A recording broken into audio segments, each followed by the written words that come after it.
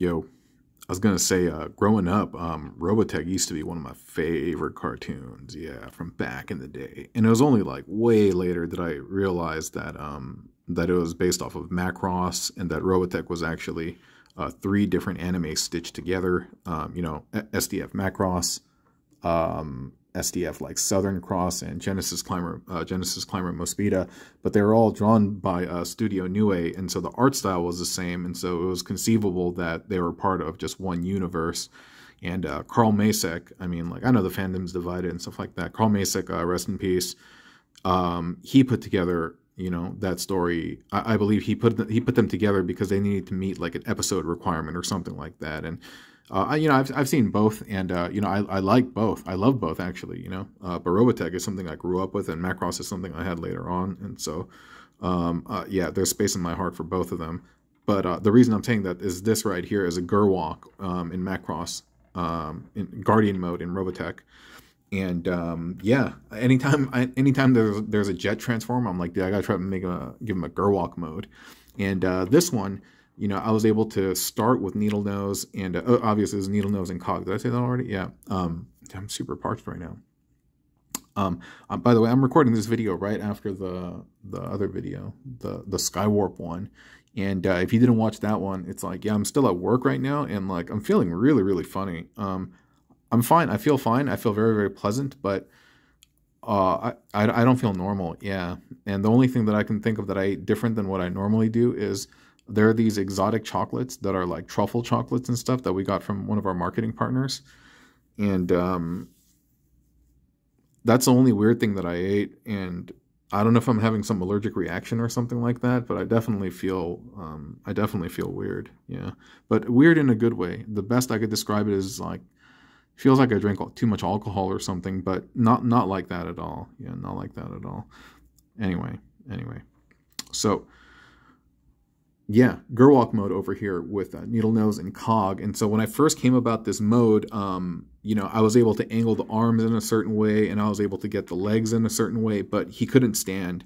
Uh, you can see like the feet are right over here. So unless I got like a Figma stand, that's how it's going to be. But I was like, no, dude, we got to do something. And the blue on Needlenose, you know, matches, and the red and stuff also matches really, really well with one. On, I got to burp.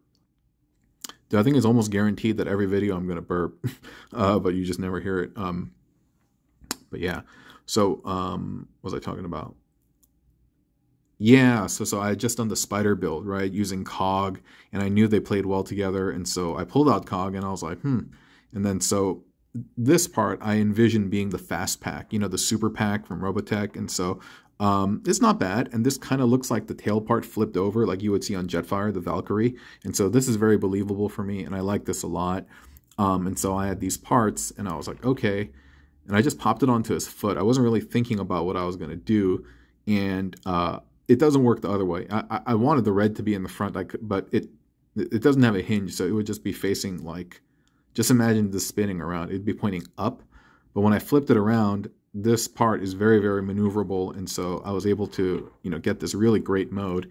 And then but I could still see the kind of fist and it was throwing me off and then I realized like oh I haven't used the guns. And once I put the guns on like that that's a really really nice perspective you know? That looks really nice. I mean I can still see the fist here but that's fine that's fine.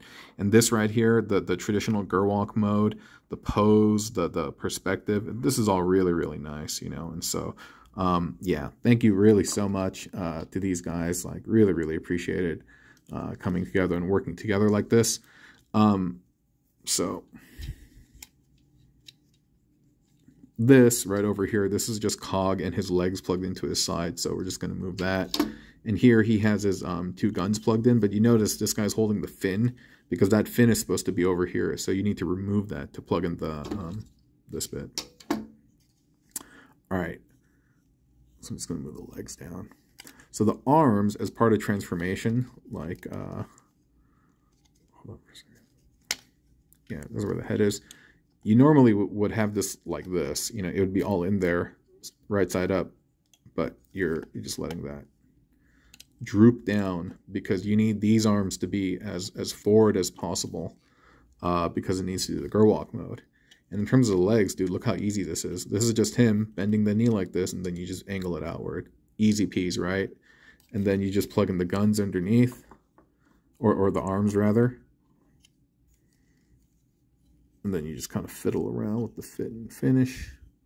Let's get her all cleaned up. And there's a hinge over here, so you could even like get in these deep Gerwalk modes, you know, so that's kind of cool too. Lots of, lots of great fun, fun things about this build.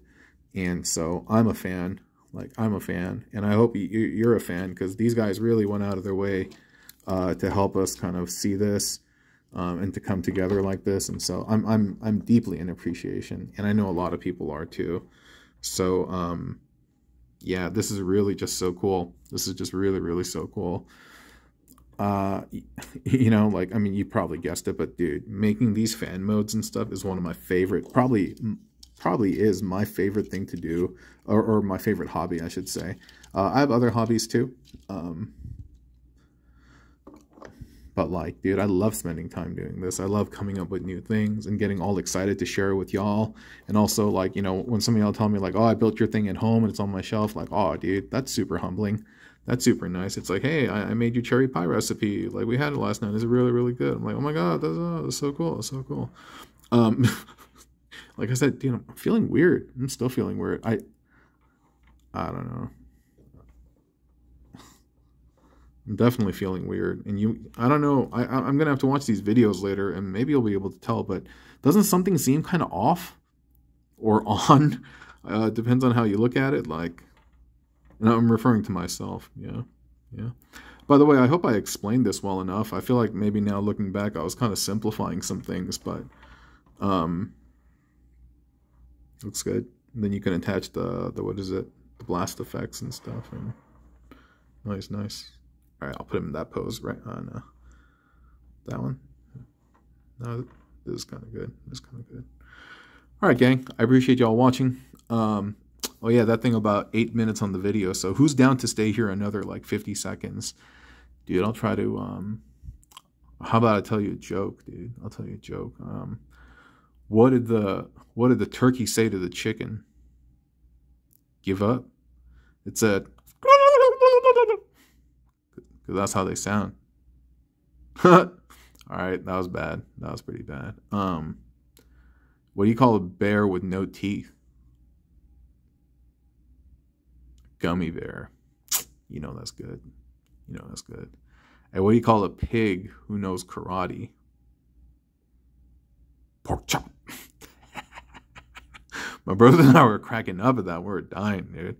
Uh, but um, that's all I got right now. And I know those because uh, I was uh, retelling those jokes to my nieces and stuff. And so that's why they're kind of fresh in my head. But thanks for helping it get to eight minutes, my friends. I will talk to you again and we will come back and bot bend. Hey, and make a new trend. Hey, bad, broken things we will mend. Hey, and this is the end. Hey, see ya.